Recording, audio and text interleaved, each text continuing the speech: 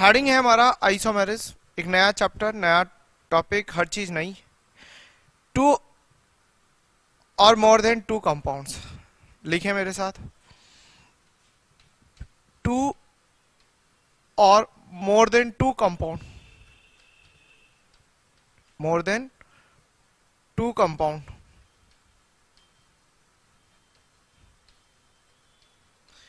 having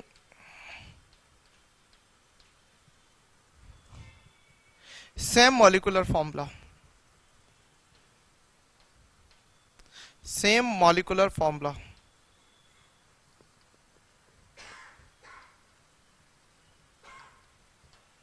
But different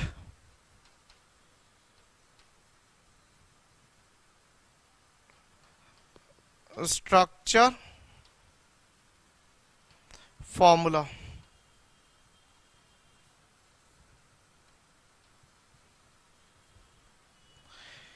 two or more than two compound having same molecular formula but different structure formula यहाँ तक समझ में आ रहा है having same molecular formula but different structure formula are called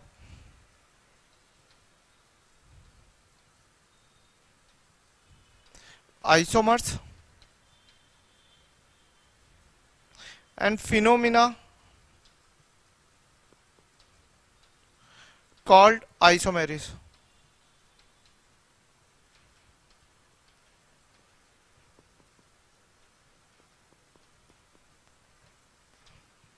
तो मेरे दिमाग में जो सबसे पहला चीज़ आई है कि भैया आइसोमेरस आइसोमर्स वो होते हैं जिनके अंदर मॉलिकुलर फॉर्मूला सेम होता है।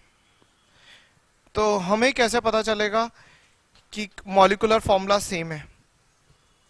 फॉर्मूला देख के। दो तरह से हमें कैसे पता चलेगा? हमें सबसे पहले चेक करना पड़ेगा मॉलिकुलर फॉर्मूला सेम है या नहीं है।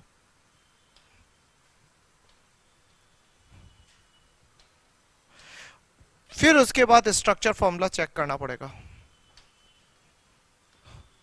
फिर सेकंड पे स्ट्रक्चर फॉर्मूला फिर उसके बाद हम पता लगाएँगे कौन से टाइप्स की आइसोमेरिज में। टाइप्स ऑफ़ आइसोमेरिज ये मेरा एक बेसिक सा कंसेप्ट है कि भाई मॉलिकुलर फॉर्मूला पहले चेक करो, फिर स्ट्रक्चर फॉर्मूला और फिर टाइप्स ऑफ़ आइसोमेरिज की कौन सी है। तो मॉलिकुलर फॉर्मूला कैसे चेक करेंगे? इसके लिए हम सबसे पहले ए पॉइंट चेक करेंगे वही मॉलिकुलर फॉर्मूला है या नहीं है सेम इसके लिए ए पॉइंट यानी फ़र्स्ट पॉइंट हमारा क्या होगा? Number of carbon atom carbon atom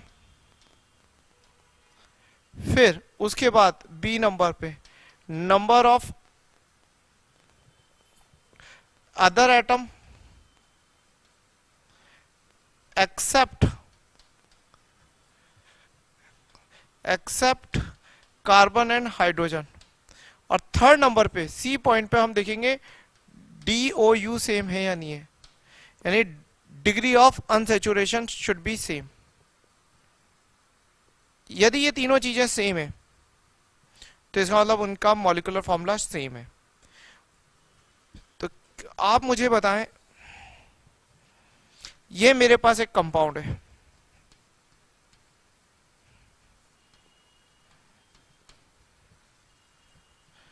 क्या है इसकी डीओयू बेंजीन की एक, दो, तीन, चार, पाँच और दो साइकिल, सात। तो डीओयू कितनी है इसकी? सात। और अगर इसमें सी एच ओ एक और है तो आठ हो गई। और सी डबल ओ एच है तो भी आठ है, क्योंकि सी एच ओ ग्रुप की डीओयू कितनी होती है? एक। सी डबल ओ एच की कितनी होती है? एक। ओ एच की कितनी होती है? ज़ीरो। एन एच टू की कितनी होती है? Zero. C O N H two की कितनी होती है? एक। सी ओ सी एल की कितनी होती है? एक। तो किसी की तो DOU याद है आपके। चलो। अब बताइए, इसमें कार्बन कितने नंबर ऑफ़ कार्बन कितने हैं इसमें? पाँच, छह तो यही हो गए। सात, आठ, नौ, दस, ग्यारह। और नंबर ऑफ़ ऑक्सीजन एटम कितने हैं? एक। बाकी में नहीं कर रहा। ठीक है ना? तो ये मेरे पास एक कंपाउंड है। एक, दो, तीन, चार, पाँच छ सात, आठ, नौ, दस, ग्यारह। काउंट करो। एक, दो, तीन, चार, पाँच छ सात, आठ, नौ, दस, ग्यारह। क्या डीओयू थी उसकी? आठ। आठ डीओयू चाहिए आपको इसमें? आपने लाना शुरू कर दिया। कितनी हुई? दो, तीन, चार, पाँच छ सात, एक, दो, तीन, चार, पाँच छ सात। और अब आपने लिया है सी एच ओ आठ। क्या ये एक दूसरे के आइसोमर होंगे? नहीं। क्यों नहीं होंगे? क्योंकि डीओयू सेम है, लेकिन कार्बन सेम नहीं है। अब होंगे? क्योंकि कार्बन एक, दो, तीन, चार, पाँच छ सात, आठ, नौ, दस, ग्यारह। कार्बन सेम है? हाँ। पहली चीज़ सेम है, दूसरा ऑक्सीजन सेम है हाँ और डीओयू सेम है हाँ। अगर ये तीनों चीज़ है तो इसका मतलब ये एक दूसरे के आइसोमर होंगे। कौन से होंगे वो बात की बात है, लेकिन हाँ हमारी ये चीज़ है मॉलिकुलर फॉर्मूला सेम है, और स्ट्रक्चर फॉर्मूला हम चेक करेंगे, वो डिफरेंट होना चाहिए और दिख ही रहा है डिफरेंट है। सही है? अब कौन से टाइप के आइसोमेरिज्म में उसके लिए हम पूरा चैप्टर पढ़ेंगे। लेकिन अगर मैं यहाँ पर ये पाई बॉन्ड हटा देता हूँ और पूछ लेता हूँ, बताओ ये एक दूसरे के कौन से आइसोमर है? आइसोमेरिज शो ही नहीं कर रहे तो आइसोमर कौन से होंगे? ठीक है ना? तो ये आप ऐसे चेक करते हैं। कोई दिक्कत नहीं है तो आपका फ्लो चार्ट ऐसा रहेगा। कोई डाउट नहीं है? श्योर सबसे पहले बात करते हैं आइसोमेरिस यानी डेफिनेशन ये बनेगी टू और more than two compound having same molecular formula but having different structure formula और having different three structure formula ठीक है? तो थ्री का मतलब हो गया डिस्ट्रीब्यूशन भाई मैं अगर ऐसे चलता हूँ तो मेरी पोजीशंस ऐसे चलती है। मैं ए बी सी डी समझना, अपन पाँच है। A B C D E लेकिन ऐसे चलता हूँ तो तुम्हारी पोजीशन अलग हुई। पहले कौन सा था? एक, दो, तीन, चार नंबर मिल रहा था। अब एक, दो, तीन नंबर मिल रहा है। तो पोजीशन चेंज हो गई। तो इस तरह की अगर कोई पोजीशन चेंज होती है अलग अलग तरीके से, और दोनों अलग अलग कंपाउंड है और एक दूसरे में इंटर कन्वर्ट नहीं हो पा रहे किसी भी वजह से तो वो स्टूडियो में काउंट होंगे। और एक तो पहले ही पता चल रहा है, भैया, एक आदमी मोटा, एक पतला है तो वैसे देखने में आ रहा है कि भैया, ये एक दूसरे के आइसोमर तो है। तो स्ट्रक्चर आइसोमर्स का पता लगाना बहुत आसान है। तो दो तरह से स्ट्रक्चरल और एक stereo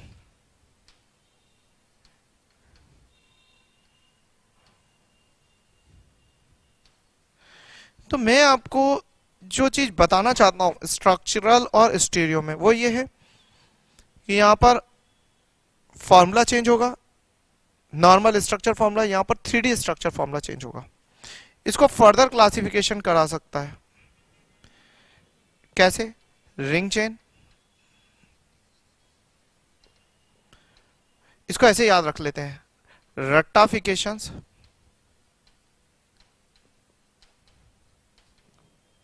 multiple choice problem.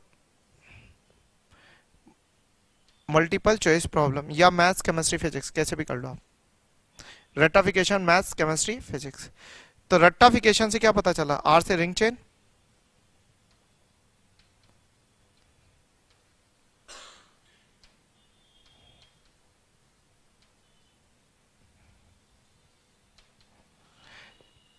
T से क्या पता चल रहा है? टोटोमेरिज एम से क्या पता चल रहा है? मेटामेरिज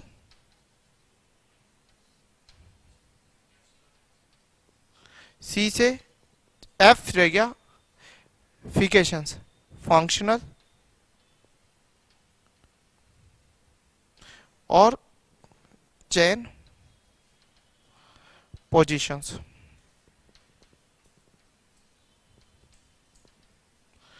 तो जैसे हमने वहाँ कोऑर्डिनेट में भी आइसोमेरिस पढ़ी थी क्लासिफिकेशन पढ़ा था। यहाँ पर भी आइसोमेरिस का क्लासिफिकेशन है। स्ट्रक्चर कितने तरह की है? छह एक बार मेरे साथ रिपीट करिए। Ring chain tautomerism functional metamerism chain position याद रहना चाहिए। जो हम यहाँ पढ़ रहे हैं, वो हमेशा के लिए याद रह जाए। उसको बहुत ज़्यादा रिविजन की ज़रूरत नहीं। स्टीरियो को फर्दर क्लासिफिकेशन किया है। ज्योमेट्रिकल और ऑप्टिकल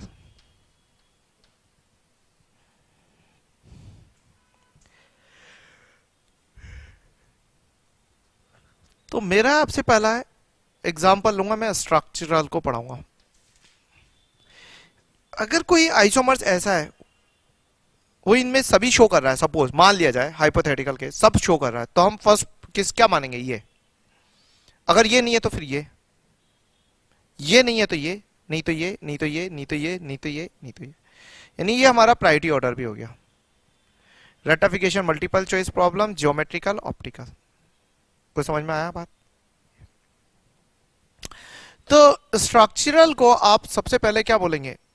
रिंग चेन तो मेरे दिमाग में ये आ रहा है कि स्ट्रक्चर आइसोमर्स को कैसे पता लगाएँगे? सबसे पहला।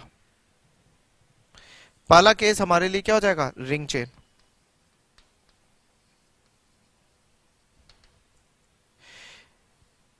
तो रिंग चेन को आप जब बताओगे तो क्या डेफिनेशन होगी? टू और more compound having same molecular formula in which one is ring and other is chain तो ये टू कंपाउंड्स है, जिसमें एक रिंग होना चाहिए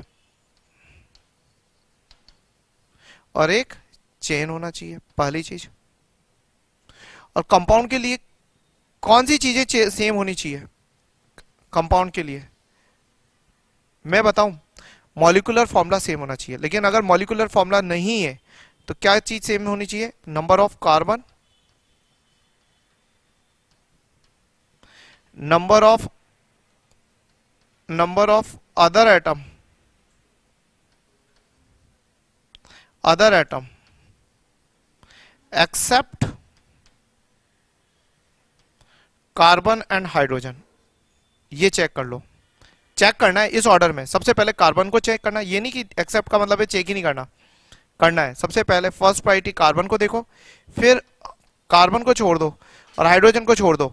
ऑक्सीजन सल्फ़र नाइट्रोजन देख लो। हाइड्रोजन को चेक करने के लिए बहुत टाइम लगेगा आपका। अब डीओयू देख लो। डीओयू का मतलब है डिग्री ऑफ़ अनसेचुरेशन डीओयू की वैल्यू होती है number of pi bond plus number of cycle अगर ये चीज़ सेम है तो इसका मतलब हाइड्रोजन सेम है। सही है? तो हाइड्रोजन को चेक करने की ज़रूरत नहीं है। कार्बन को अपन पहले ही कर चुके तो बाकी के एटम तो मेरे हिसाब से अब आपको इसमें ज़्यादा टाइम नहीं रहेगा। रिंग चेन पता लगाने में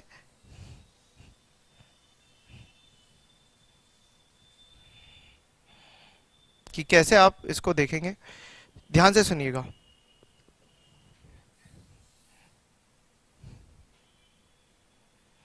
शुरू करें। सबसे पहले अगर आपके पास ये दो कंपाउंड है, एक, दो, तीन, चार, पाँच छ तो सबसे पहले आपने क्या चेक करा? कार्बन एग्ज़ाम्पल क्या कार्बन चेक करा? क्या वो सेम है? नंबर ऑफ़ कार्बन हाँ टिक कर दिया। फिर दूसरा अदर एटम्स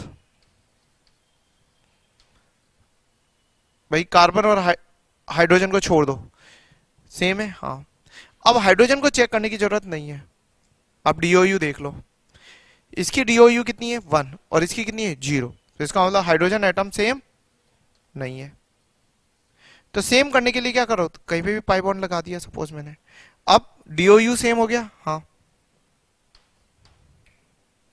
इसकी डीओयू वन है क्योंकि number of cycle plus number of pi number of cycle number of pi one plus zero zero plus one तो अब ये भी सेम है। तो ये एक दूसरे के कौन से आइसोमर्स हैं?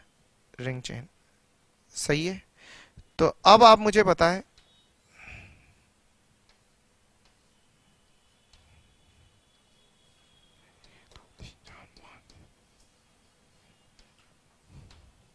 ये एक दूसरे के क्या है? अदर रिंग चेन है या कुछ भी नहीं है? दो ही होता है? श्योर